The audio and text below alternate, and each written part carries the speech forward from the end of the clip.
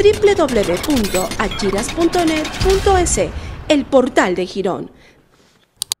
Una de las realidades que vive Girón es la, permanente zozobra que vivimos, por ejemplo, los colapsos de las vías, que es parte del movimiento del suelo. Eso se llama justamente la falla Girón. Al darse estas posibilidades de tener al sur, al norte y al, oriente movimientos de suelo, siempre nos hace una ciudad que tiene su riesgo. Por eso el, Ministerio de Gestión de Riesgos ha, ha escogido a Girón como un lugar, un espacio que tiene estas complejidades por la falla Girón para hacer este simulacro aparentemente, y así quisiéramos pensar y le pedimos al señor de Girón que no se mueva nunca a ello, pero de darse esta situación, créame que no sabemos cuáles son las, las consecuencias. Por eso el COE cantonal debe estar siempre permanentemente unido capacitándose y en una siguiente simulacro será con la población.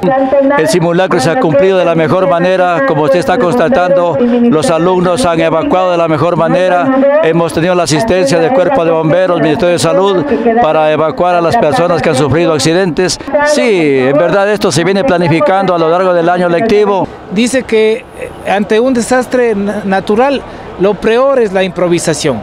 Y esta, y esta ahora que se se llevó a, consideración el nuevo manual del Comité de Operaciones de Emergencia. Prácticamente es la primera vez que le ponemos en ejecución. Antes había el, otro, otro manual y este manual permite articular a todas las instituciones del Estado. El panorama que se ha presentado es un sismo de 6.3, activación de la falla Girón Santa Isabel, cerca de 20 estructuras afectadas, una estructura colapsada en la que estamos trabajando.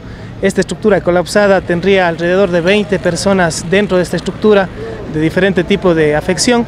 Eh, al momento hemos evacuado ya al 95% de las personas. La capacidad de respuesta de los organismos locales no se puede cubrir a una magnitud de lo que usted nos ha pintado este panorama. Sí, justamente es esa. Eh, en ninguna parte del mundo, ningún cuerpo de bomberos va a tener la capacidad de responder a un evento eh, de esta envergadura. Sin embargo, existe un sistema nacional descentralizado de gestión de riesgos que lo que logra es articular esto que bomberos de Girón, que bomberos de Santa Isabel, que bomberos de Cuenca estén operando bajo un mismo procedimiento, bajo terminología común, liderados eh, eh, por un sistema de comando de incidentes y con la presencia de la Secretaría de Gestión de Riesgos como ente rector en Administración y Gestión de Desastres. Es una buena forma de hacer los simulacros para que bomberos estemos activados, no sabemos cuándo tengamos una emergencia de esta naturaleza. Es un simulacro, pero nosotros lo hacemos tan real como, como usted se lo puede imaginar y está viviendo en las imágenes. Colaboramos con nueve unidades, 30 personales uniformados que estuvieron a lo largo de la red estatal para poder eh, permitir el paso de las unidades de emergencia. Bueno, el simulacro en términos generales eh, creemos que ha podido determinar ciertos niveles de coordinación necesarios para una respuesta adecuada. Justamente este simulacro está pensado para poder medir los diferentes niveles que se deben articular en territorio, desde la toma de decisiones, la articulación de las organizaciones, de las instituciones del Estado que deben tomar decisiones, que deben dirigir la emergencia, pero además también como en las operaciones de rescate que terminan siendo un eslabón mucho más especializado, las eh, coordinaciones son necesarias para ser mucho más efectivos y eficientes. Creo que la mayor eh, virtud de este ejercicio fue haber tenido la participación integral de casi todas las instituciones que se encuentran en territorio.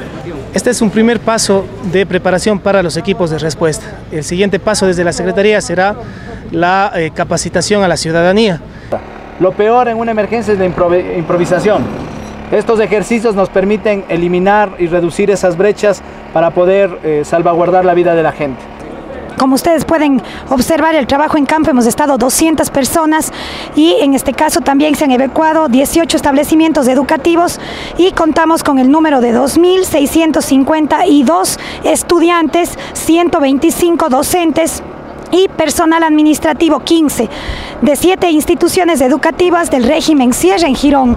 Ese es el número también de instituciones en este caso y sobre todo de alumnos que evacuaron. Vemos un trabajo organizado que se ha cumplido con cada uno de los protocolos también de evacuación y eso ha dado también el éxito de este ejercicio. Es una de las competencias que es riesgo que tiene Girón y siempre hemos molestado haciendo todo lo que son los planes de, contingencia, es la institución presidida por el señor alcalde, en este caso mi persona, y el ingeniero Guzmán, quien es el responsable de riesgos, siempre tiene las instituciones como el hospital, bomberos, policía, eh, las instituciones educativas y de salud, todos ellos son parte de, de, del COE cantonal, quienes en el momento de darse estas situaciones deben actuar con la prestancia y en el menor tiempo posible para evacuar a las personas, para salvar las vidas, para las situaciones de colapsos, cómo poder atender a la mejor manera.